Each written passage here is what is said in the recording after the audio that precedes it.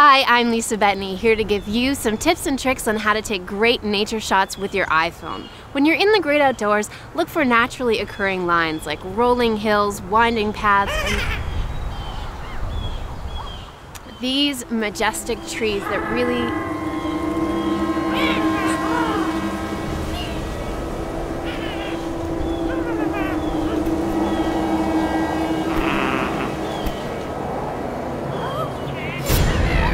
There's just so many of them. Where do they come from? Why are they so angry?